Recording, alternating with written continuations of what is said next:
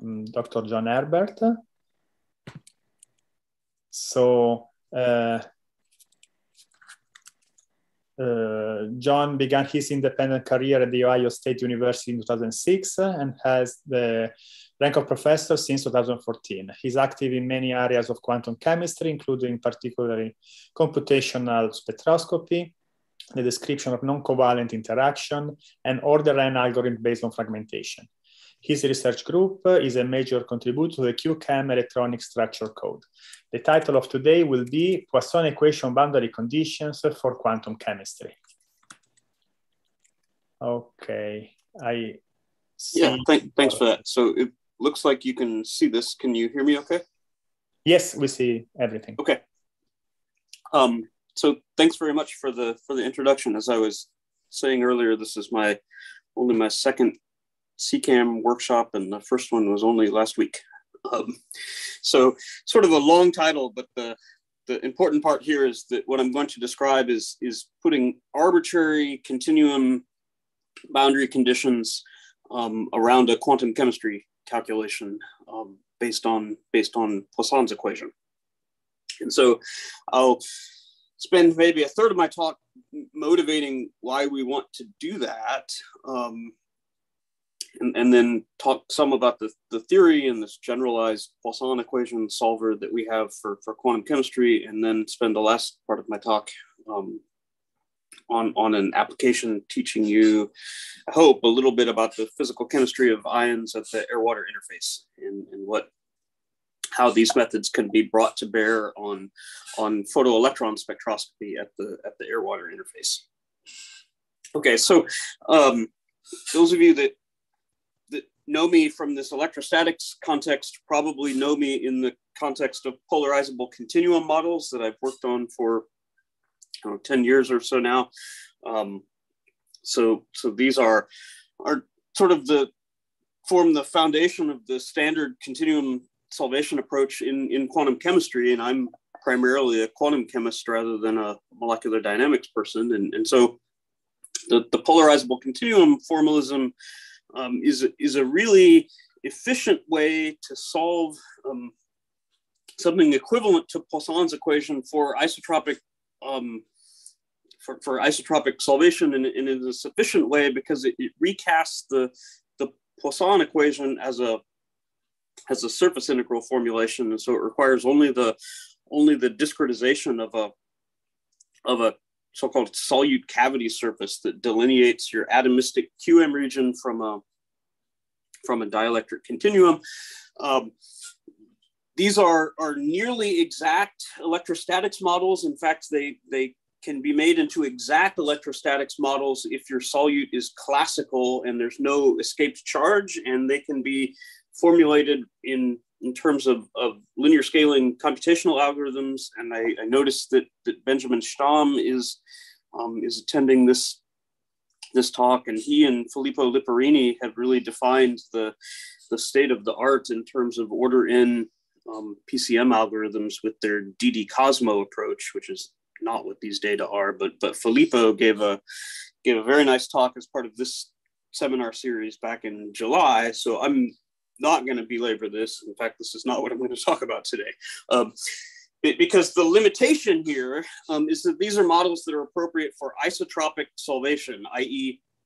for a solute in bulk liquid water. And, and I want to talk about anisotropic um, solvation environments. And so you know, why, why might we care about that? Well, because um, we care about spectroscopy, molecular spectroscopy in heterogeneous um, solvation environments. So here's one example. Um, these were some calculations done with my collaborator Barry Dunietz, where um, he and his collaborators have, have taken some coumarin dyes and put them into these octaacid capsules. And then this whole um, host guest system is is in aqueous solution, um, but effectively the, the chromophore here, the coumarin inside, um, doesn't see the, the polar um, aqueous solvation environment. It, it, sees a very non-polar um, environment with an effective dielectric constant of, of maybe something like three, like epsilon equals three. Um, and knowing that now, um, after the fact, we, we could simply model the spectroscopy of this coumarin in a in a continuum environment with dielectric constant equals three. Um, but but proving that this was the case required us to model this this environment in a in a heterogeneous way with a with a polar dielectric constant um, outside representing aqueous solution and, and then and then something different, something non-polar um, inside. And so it required us to treat the continuum environment in a in an anisotropic way. And, and then the application that I will talk about today is is is um, in detail is is spectroscopy at the air-water interface. And so this is going to be based on, on solving a generalized version of, of Poisson's equation, um, generalized in the sense that there's an arbitrary uh, permittivity function epsilon of r that, that's in principle allowed to, to vary however it wants, however you want to, to model it in space. And so epsilon of r is in fact just defined pointwise on a three-dimensional grid. And, and so you know, we can model a bulk solvation environment in, in that way, like you might do with a PCM, although it's a less efficient way to go about it as compared to a PCM. But more interestingly, we can we can model an interface. And so how that's going to look in the applications that I'll talk about is that you have some sort of atomistic um, description of your solute and, and my atomistic solutes are going to be described with, with quantum chemistry. And and and my atomistic solutes are going to include some amount of explicit water molecules typically about two solvation shells. And, and so there's an ion shown in in gold here and then two solvation shells of, of water around it. And so that's my atomistic region described with quantum chemistry. And then the colored background um, tells you something about what this what this permittivity function epsilon of r will look like for modeling the air water interface. And, and this this geometry would be some snapshot that we would pull out of an md simulation. And now we're going to go do some quantum chemistry calculation on the spectroscopy of this atomistic solute um, with anisotropic continuum boundary conditions okay. and the reason that we want to use those continuum boundary conditions is is, is that we really need those to, um, to accelerate the convergence specifically of ionization energies. So um, vertical ionization energies, as in photoelectron spectroscopy, is, is what I'm interested in. Um, I suspect this audience skews more biomolecular, and but but so in a in a biomolecular context, um, similar remarks can be made about about pKa's, where we're adding or subtracting a proton. That um, that these are quantities that, that involve long range Coulomb effects. And, and so in a quantum chemistry calculation, it requires hundreds, you know, maybe three to 500 um, explicit solvent molecules in order to converge in ionization energy with respect to um, treatment of explicit water. And, and that's going to become prohibitively expensive very quickly in a quantum chemistry context.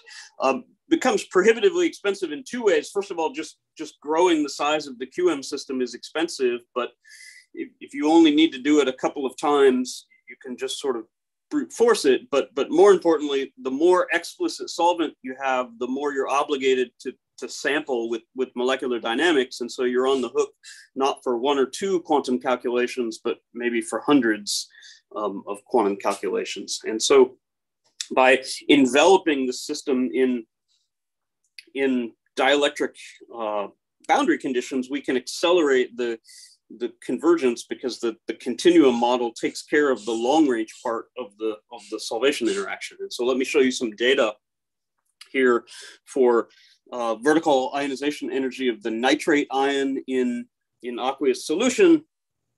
And, and so what's what's changing here along the horizontal axis is is how much explicit solvent we're, we're keeping in this calculation. So so we're just taking a, a ball of, of water around this ion of a certain radius or, or a certain number of water molecules. And so um, five and a half angstroms or about uh, 40 water molecules is two solvation shells. And, and you can see um, with vacuum boundary conditions, i.e. just including those explicit water molecules, this this vertical ionization energy converges very slowly and, and the experimental value is here. And, and so if you sort of extrapolate this in your mind, um, it's going to be prohibitive to, to take this out to, to convergence.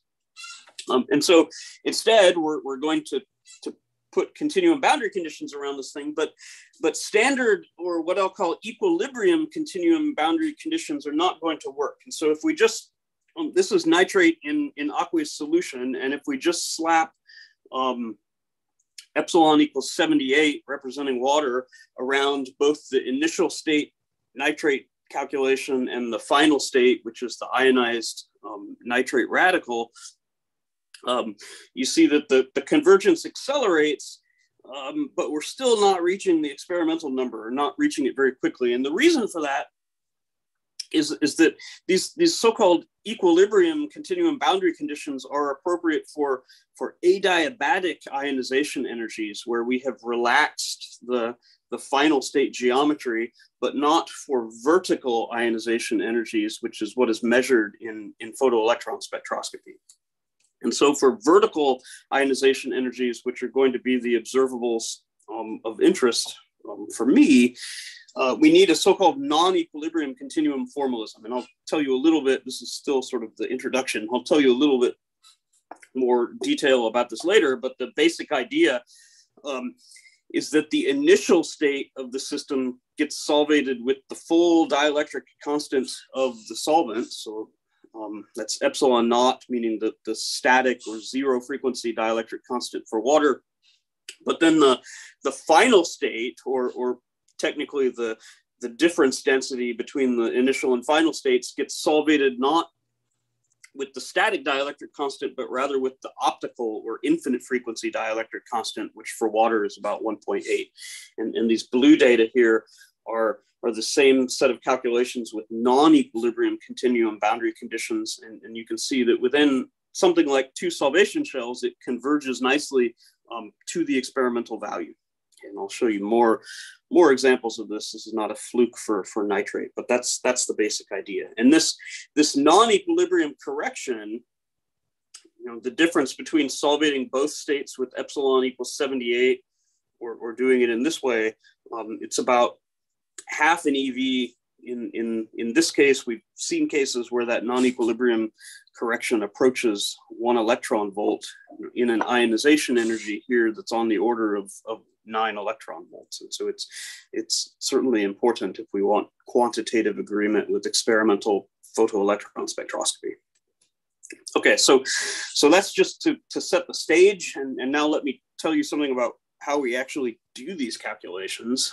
Um, I'll tell you about our, our generalized Poisson equation solver for quantum chemistry, a little bit more detail about this non-equilibrium theory, and, and then um, show you in more detail how it matters for vertical versus adiabatic um, ionization energies.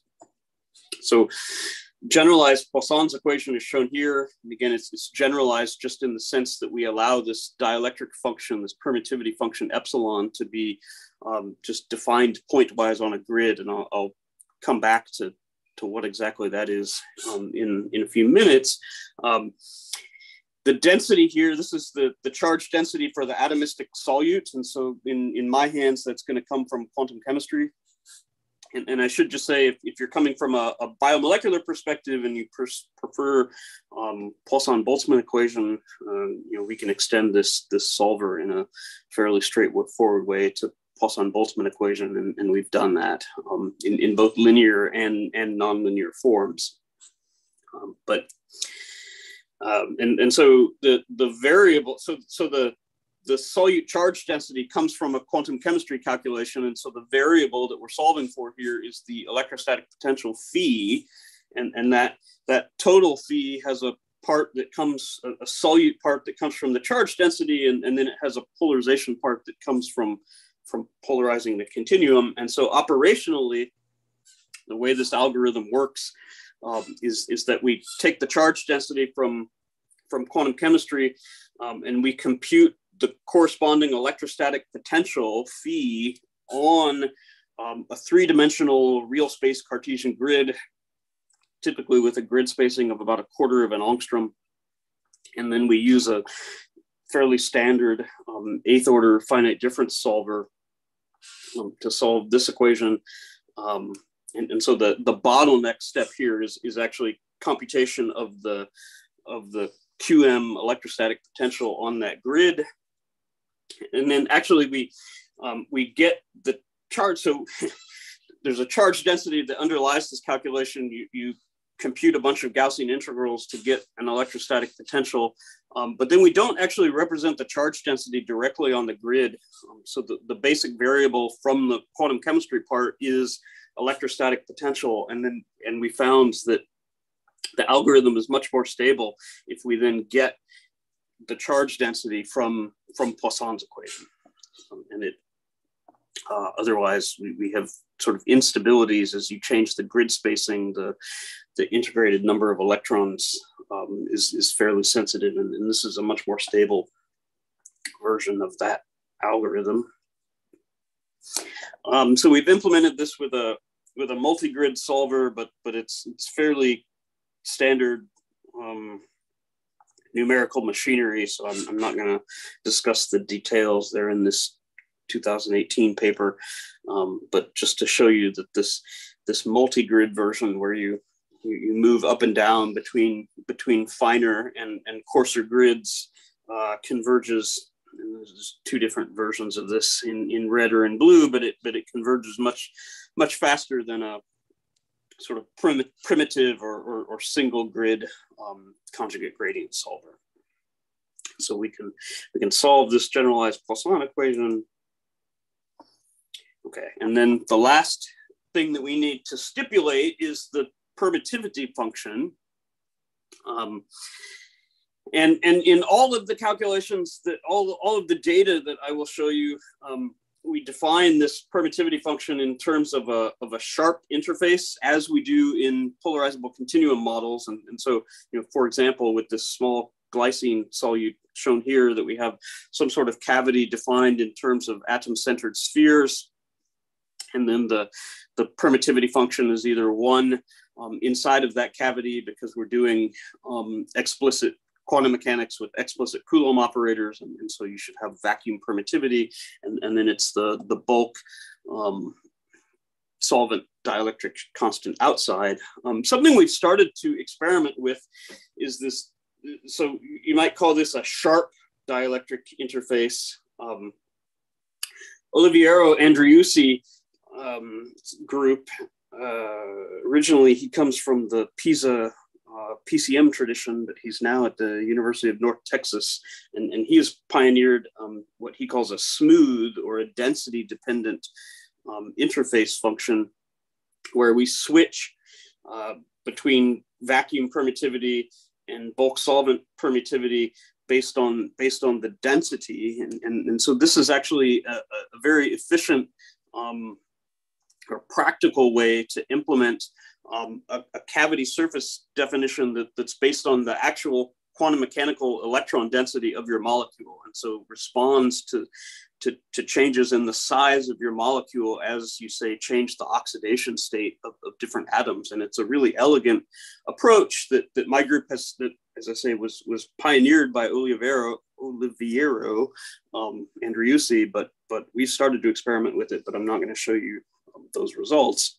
Um, so we're going to use this sharp dielectric interface um, based on atom-centered spheres, um, but we're going to want to simulate air-water interface. And, and so on top of that, we're going to have, um, so, so these are going to be snapshots taken from a periodic slab MD simulation. So there's an air, air-water interface with a Gibbs dividing surface to, to delineate the, um, the interface and, and that that Gibbs dividing surface, you know, we, we then interpolate from epsilon equals 78 to epsilon equals one uh, smoothly across the Gibbs dividing surface. And then you can see the imprint here of, of something that looks like a, an atom-centered cavity. Okay, so, so that's gonna be how, how we describe the, the permittivity function. And, and then the last part of the theory is, is this non-equilibrium version of the continuum formalism and I'm not going to derive that, but I want to introduce it by way of, of analogy of something that's probably fairly familiar, and, and that's the Marcus theory of, um, of, of reorganization energy in, in, in response to an electron transfer um, event. And, and, so this is the standard um, so-called outer sphere or the long-range part of the, of the Marcus reorganization energy in terms of distances between donor and acceptor spheres. And the, the important part is, is, is that what shows up here is this this dielectric dependent prefactor that you'll notice has a has a factor involving the, both the static um, dielectric constant, but also the optical or the infinite frequency um, dielectric constant. And, and so similarly, this, this non-equilibrium formalism is really just a generalization of, of that Marcus idea. In fact, the, you know, Marcus's first papers in the 1950s were really working out um, non-equilibrium um, dielectric continuum theory. And so, you know, this is just taking that and turning it into a um, uh, an efficient computational paradigm. And so the idea is that fundamentally your, your dielectric function is, is frequency dependent, um, but we're going to, and, and so the uh, the susceptibility, which is just epsilon minus one over four pi, inherits that that frequency dependence. But but we're going to model that frequency dependent dielectric in terms of its low and its high frequency limits, the, the zero frequency static dielectric constant and the infinite frequency optical dielectric constant. And we're going to use those two values to separate the polarization response into um, a fast part that represents the response of the polarization response of the electrons on the solvent. So even when the, the solvent nuclei are frozen, um, there's some part of the polarization response that can follow a, a fast perturbation. And that fast perturbation is going to be, say, ionizing the, the solute. And then there's a slower part that involves all of the other uh, relaxation mechanisms. And so, in particular, the vibrations um, and the orientational degrees of freedom of, of the solvent. Right? And, and, and so we separate the susceptibility into fast and slow parts, and then the, the polarization um, response can, can similarly be separated into, into fast and slow parts. Okay, and then um, I won't derive the math here, but but there's a couple of terms in the non-equilibrium uh, correction to the energetics. And so just representing initial and final states as, as zero and, and one, you get some correction that depends on how the, the electrostatic potential for state one, the final state, how that interacts with the change in the fast polarization charge. So, so the basic phenomenological idea here, and, and by the way, I, I, wrote this review about dielectric continuum methods in quantum chemistry earlier this year, and, and it talks in, in some detail about this phenomenology. The basic picture is um, that we equilibrate the initial state of my solute using the static dielectric constant. So that's epsilon naught equals 78 for water, um, because that value includes all of the relaxation mechanisms of the solvent, including orientation, reorientation of the solvent molecules, uh, but then we're going to come in and we're going to ionize that, that solute very quickly, essentially infinitely quickly on the time scale of, of the solvent. And, and, and we want to calculate a, a, a, vertical ionization energy. So the, the nuclei of, of this continuum solvent are frozen. And the only way that the solvent can respond to that fast perturbation is through its electronic degrees of freedom. And, and those are, you know, codified in this infinite frequency, um, epsilon infinity equals 1.8 for, for water. And, and then before I show you some data, just to put everybody on the same page, let me talk about the difference between vertical and adiabatic ionization energies. Um, and so a, a, vertical ionization energy is, is more or less exactly what it sounds like. So it's going from, from my initial state to the final state in a in a vertical sense, in, in the sense that the nuclei are frozen. Um, this is actually sort of a fictitious construct, quantum chemists' construct, because in reality, your your photoelectron spectrum consists of a of a vibrational progression here, because you have to hit some um, quantum state, some vibrational state in the in the final state of your of your solute. Um, but in fact, in the applications that I'm going to show you, the, the structures that we get are taken from classical molecular dynamics simulations. And so those vibrations are, are described in terms of the classical MD sample. Right? And, and so, um, you know, within that approximation, this the idea of a vertical ionization energy makes makes some sense. And then we'll need to to ensemble average that vertical ionization energy over snapshots. And, and that ensemble averaging is is the the classical analog of, of describing this this vibrational progression in the in the final state. And then in contrast in adiabatic ionization energy is going from the zero level of the initial charge state to the zero level of the of the final charge state, right? And and so that adiabatic ionization energy, um, that's what we would access in a in a slow ionization process where we've allowed the final state to, to reach its its equilibrium geometry, and and so only for adiabatic ionization energies, which is not primarily what I'm interested in today, um, but only for adiabatic ionization energies is it appropriate to use epsilon naught for um, for both states. Right? This, but for this vertical ionization energy, we need to use this this non-equilibrium um, procedure. And, and, and so then to help you interpret the data that, that I'm going to show you on the next slide, let me show you a cartoon. I'm going to show you some, some results for um, monatomic ions just so that we can take sampling out of the picture because you know I, I, can I can sample the heck out of something like fluoride or or, or sodium in in aqueous solution. And and also I can I can draw a very simple picture of what the solvation um, environment looks like around a monatomic um, ion.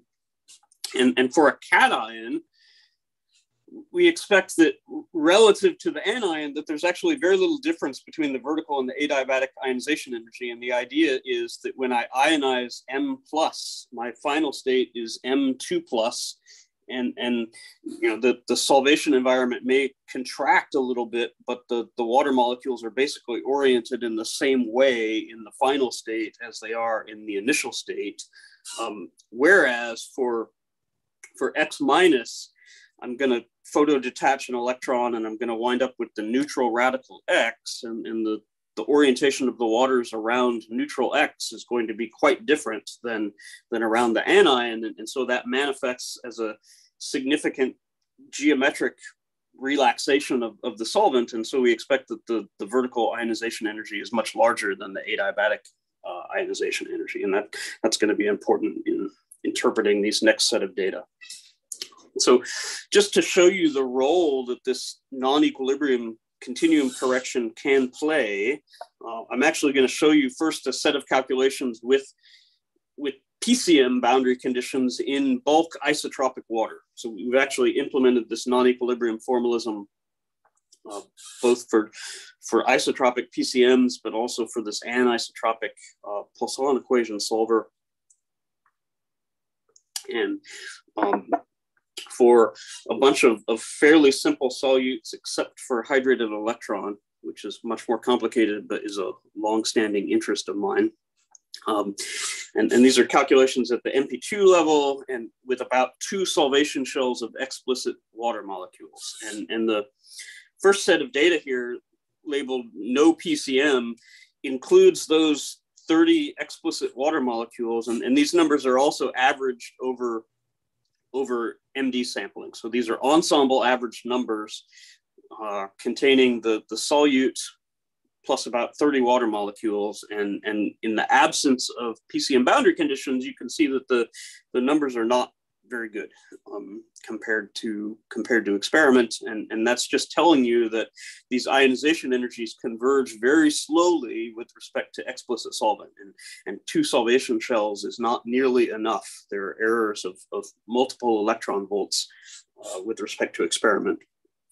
So what we can do about that uh, very simply is we can just slap uh, epsilon equals 78 boundary conditions around both the initial state and the final state. And, and I call that equilibrium continuum solvation, and it's appropriate for an adiabatic ionization energy, which is not what these experiments are measuring. But, we can do the calculation um, we, just with two different choices of how we define the, the, the solute cavity, either just taking a single sphere around these two solvation shells or this solvent accessible surface and, and um, the difference is, is small compared to the overall errors in, in either. It's just sort of a sanity check. Um, but if you look at these data and compare them to experiment, you'll find that that actually the cations look pretty good. Uh, that turns out to be a little bit of fortuitous error cancellation, but but the cations look pretty good. Um, the anions don't, and uh, so that there are still large errors in the anions, and and I rationalize that in terms of the fact that for an anion, I expect the the vertical ionization energy that's measured to be quite different from the adiabatic ionization energy, in this equilibrium continuum solvation is really appropriate. Uh, so at best, we're measuring, we're, we're calculating adiabatic ionization energies here. And, and, so we expect significant or should expect significant differences relative to experiment.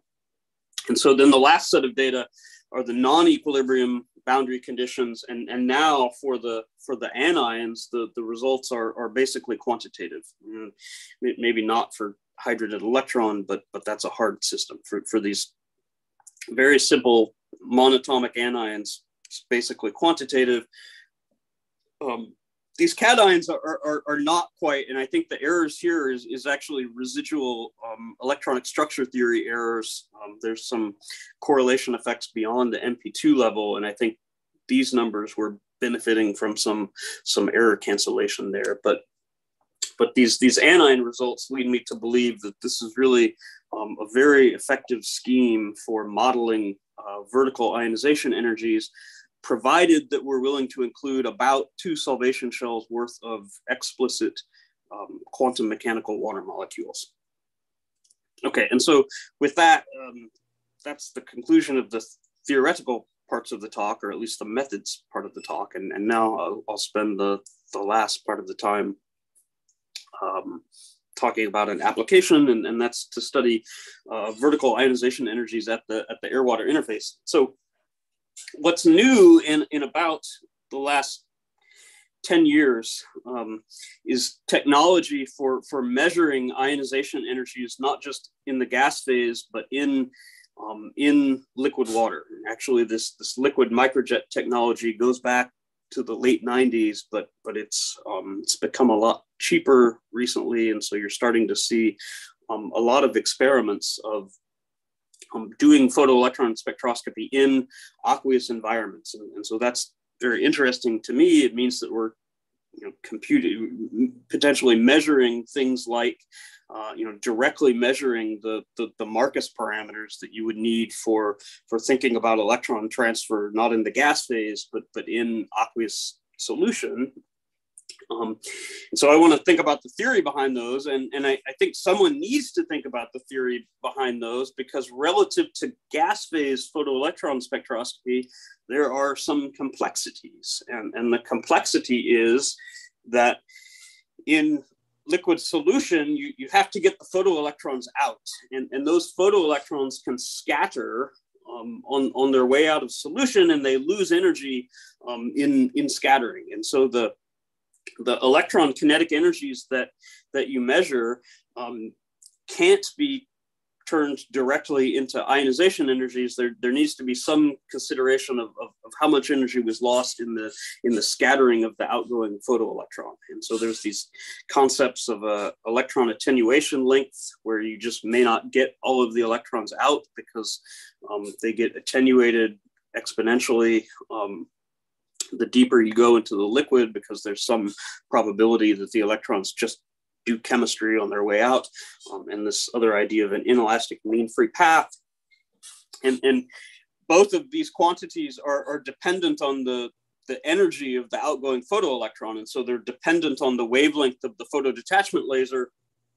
And, and that dependence can be measured. And, and for the photon energies that are typically used in experiments, the punchline is that the electron attenuation length is about one to two nanometers. And, and so it has been considered that liquid microjet photoelectron spectroscopy is an interface sensitive technique um, because you're, you're only perhaps probing the first one to two nanometers of the liquid solution because any deeper than that, you're not going to get the photoelectrons out. The photoelectrons are going to undergo some sort of chemistry uh, before they can escape the liquid and, and, and you don't see them.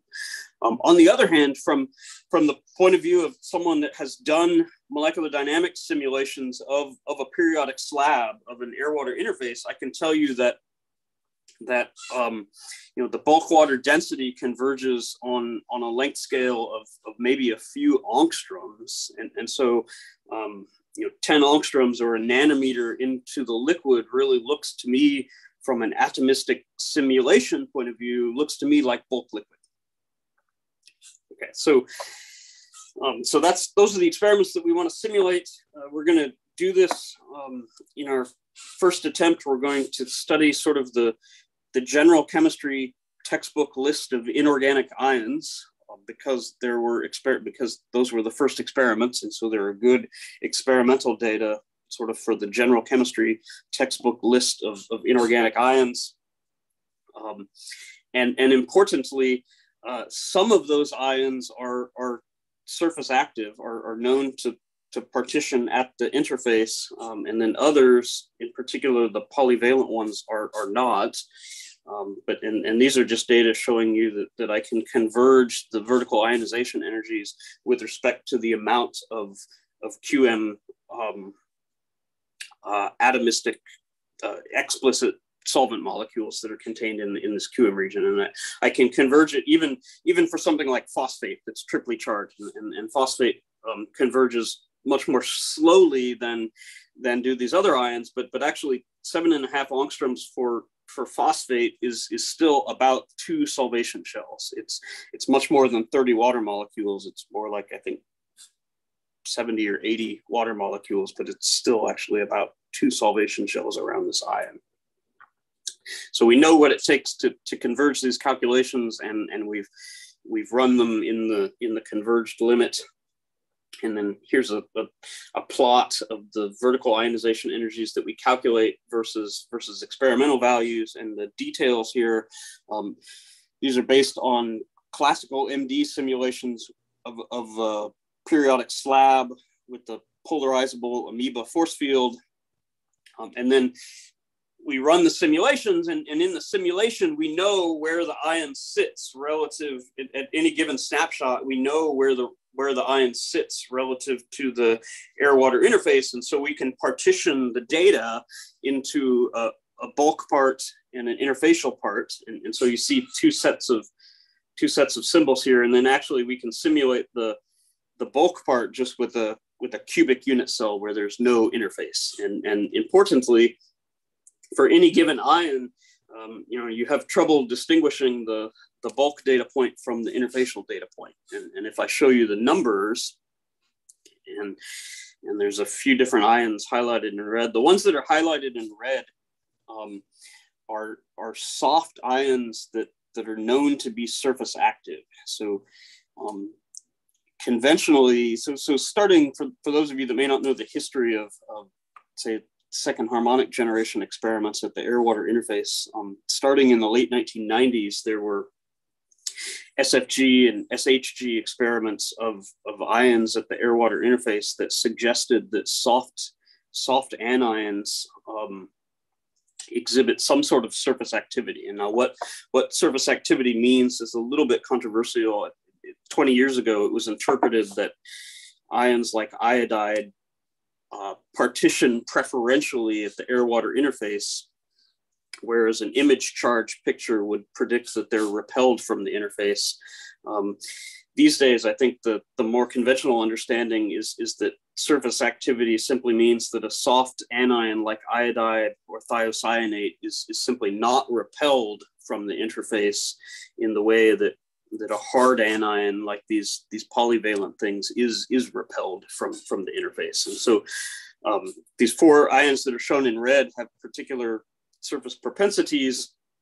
It's experimental ionization energies here, but, but then my computed values either in the bulk or slab simulations and, and, and basically you can't tell the difference right so so the difference between the the ionization energy at the air water interface and the ionization energy in, in bulk water is small compared to the overall accuracy of my calculations which is about 0.2 ev with respect to experiments and, and so that that's our picture actually is that is that we don't think that photoelectron spectroscopy is sensitive to um, to whether this ion sits at the at the interface or, or in the bulk. And so just to look at at two of the canonical surface active ions, iodide and, and thiocyanate, um, and show you the, the full distributions of, of, of vertical ionization energies um, partitioned into bulk data versus versus uh,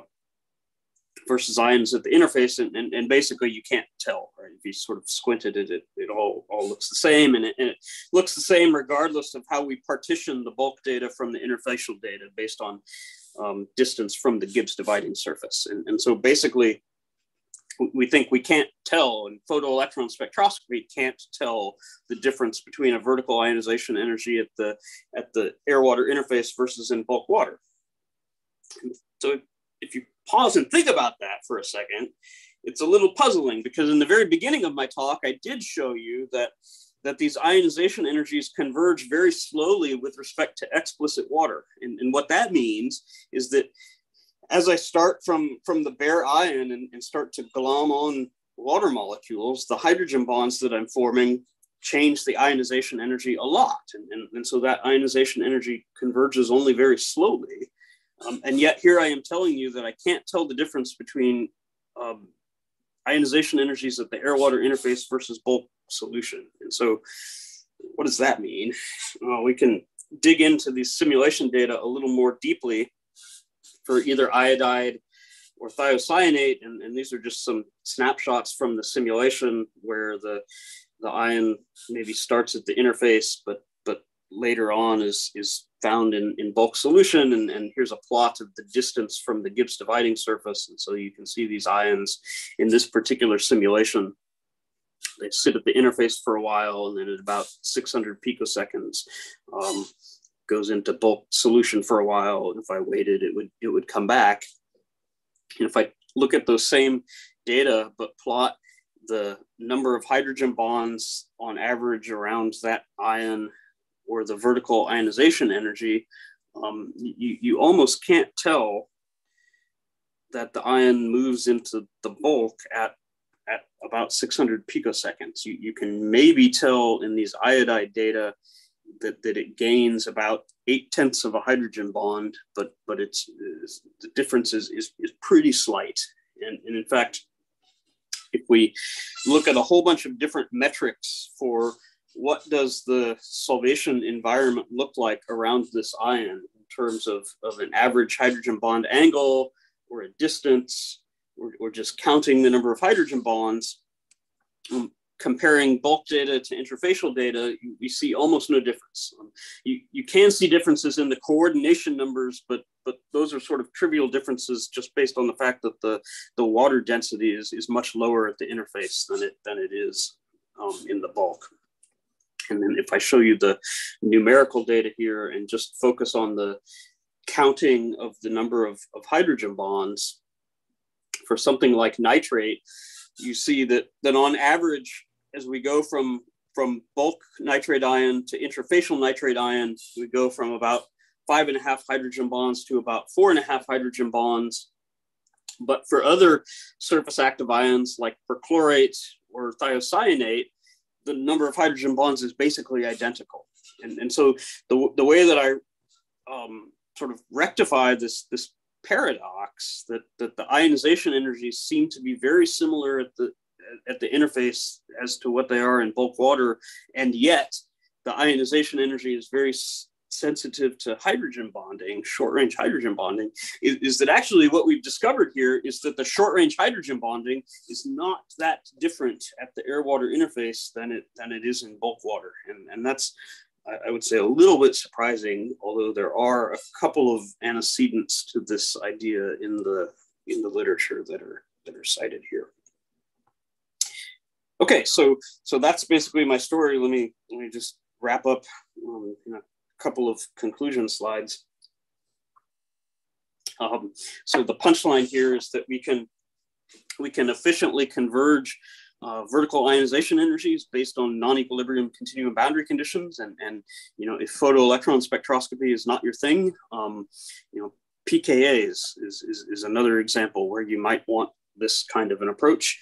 Um, in, in terms of the machinery, um, right now this this this method so you know we, we've done these calculations with density functional theory for the for the qm region in, in principle this is extensible to correlated wave functions and we're working on that um, you know that may not be of interest to biomolecular people but um, but but as of right now um, the the three-dimensional discretization is is rate limiting. So so you will notice a slowdown relative to your standard density functional um, calculation, although the formal scaling is still cubic with system size, but but we sort of know how to how to fix this, and, so we're working on a more efficient implementation of this algorithm.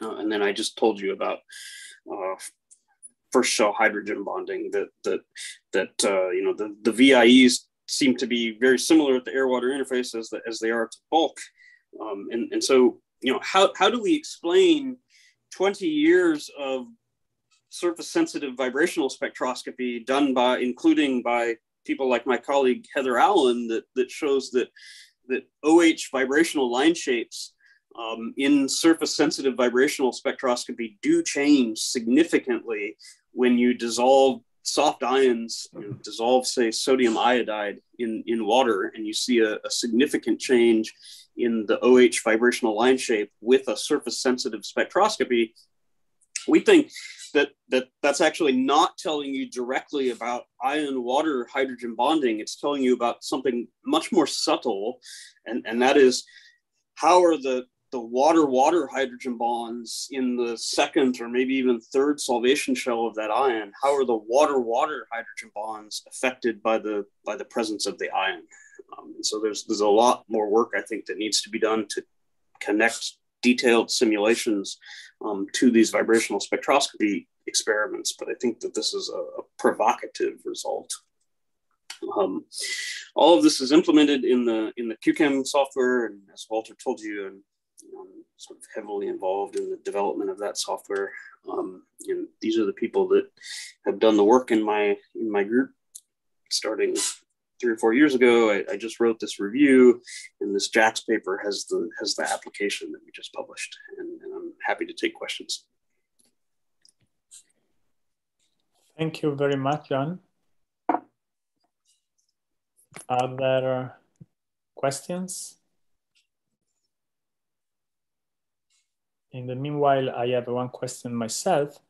Uh, do you think or do you know whether anybody if not yourself uh, uh, has tried to use uh, um, integral uh, molecular uh, simulation like 3D uh, RISM or similar approaches and whether they could improve on the simple electrostatic the electrostatics for these kind of problems? So just if, if we're talking about um, solvation models in quantum chemistry as a whole, the answer is, is definitely yes. It, it's, it's sort of a niche industry, but there are there are QM implementations of 3D RISM. Um, uh, the names are escaping me for for it, it, it is sort of a niche, and so so I yeah. can't I can't immediately think of the but uh, uh, but in terms of, of has it been done specifically for the ions interfaces problem, um, I think I think the answer is probably no, and and actually I think that is kind of antithetical to 3D RISM, right? Because the hmm. whole idea is it's based on on bulk GFRs.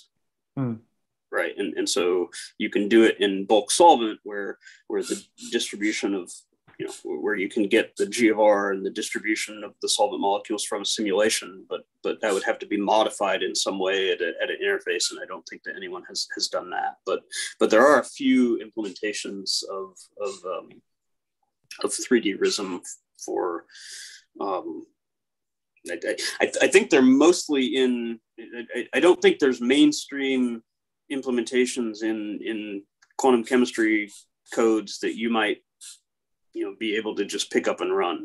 I, okay. I could, could, I could be wrong about that, but I think this is mostly a sort of experimental done at, at individual research group levels. Mm, like yeah, so uh, uh, Jay is suggesting maybe it's possible that in Co- the Kovalenko's group, um, somebody has tried to to work on this. Okay. So I, I mean, it, it, I've definitely seen the papers. So so people have done it. Um, I, I but but I, I suspect it's their own interface. They have their own local 3D RISM code that yeah, they yeah. Pro- probably interfaced with Gaussian or, or with something else. I, I don't know that it's available in, you know, just the commercial version that yeah, you could yeah, buy or, or download. Um, but I, I could be wrong. I see. Okay. Uh, any more questions? Okay. In uh, I have a question. Yeah. Okay. Folks can see me. Um, I'm curious. This is a fabulous talk. Thank you. Um, is is there a relationship between the non-equilibrium uh, continuum model that you're using and the Song Chandler dielectric relaxation model. I, this go, it goes way back, and this isn't my area, so I apologize if it's an ignorant uh, question. It's, it's also, I, I, think you've just gone well beyond my statistical mechanics training. Um, so I, am unfamiliar with this model. Um, okay. So if you could describe it in two sentences, I could maybe give you a half-assed answer. But fair enough. I'm not. It's been a very long time since I, I looked at it. Uh, to be honest, my my recollection was merely that they were looking at um, sort of a solvation dynamics um, from the perspective of some kind of uh, vertical excitation energy. And I remember them using the optical dielectric constant. So, so I mean, the, the, the answer is prob- probably it, it, it's probably conceptually very similar because so okay. I mean I, I, should also you know by way of full disclosure I guess I, I, didn't give you all the references but we're, we're, certainly not the first people to, to do non-equilibrium continuum theory I mean sure. arguably Marcus was the first person to do non-equilibrium right. continuum theory in the 50s but but even within the, the context of, of PCM specifically um, Jacopo Tomasi's group did it in the 90s, if not earlier, um, and and and and other people in the PCM community have done it. We we have our own particular flavor of this, the details of which are not important for this talk. But but all of these things are are based are are so so. I, uh, it's, it's, it's almost certain that, that the answer to your question is yeah it's at a phenomenological level it's the same because the whole idea is you take you take epsilon of omega and you model it in terms of its high and its low frequency limits, right? And those are the static and the optical dielectric constant. And you just partition the polarization response into, into fast and slow. And, and, and there's been, if you want to do that in a little more detail, which uh, there's been some work on, on you can introduce a, a Debye type model um, so, so then, you know, a, a Debye yeah, type model goes, goes, one step beyond that by introducing one time scale, right? So you uh, one one frequency, and then you could, you know, introduce a few frequencies. I'm I'm I'm not convinced that the accuracy of continuum solvation in general warrants that approach. So this this epsilon not epsilon infinity to me seems like the sweet spot of um, uh, you know of, of kind of a crude coarse graining, but but you know the whole model is kind of a crude coarse graining, and and and you you want to make sure that you're not um, working too hard on something that you know has intrinsic error bars of you know whatever. But yeah, but, thank so you. It's, it's cool. probably, all, all, all these things are, are, are based on that basic phenomenology. So the answer to your question is probably that at a phenomenological level, it's the same. Even even even though I'm not familiar with this Chandler theory. Fair enough. Thank you. Okay. Are there any more questions? Uh, if not, then let me thank uh, again uh, the second speaker of today, uh, John. Thank you very much. And yeah, thank, thanks again for the introduction. and we'll or the, or the invitation. Yeah. Uh, and also the introduction. uh, thank glad that you accepted. Uh, so we'll uh, we'll meet uh, next week uh, with the um, speakers, which will be Franziska Nestler and Ivo Kabadshow.